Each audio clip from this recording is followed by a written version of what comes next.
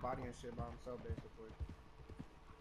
No. Basically, he's playing World of Warcraft and he doesn't have a, a guild. Because he, he's a, because it, it's a world where Okay. like, the dungeons just randomly got, got spawned into the you know the world and shit.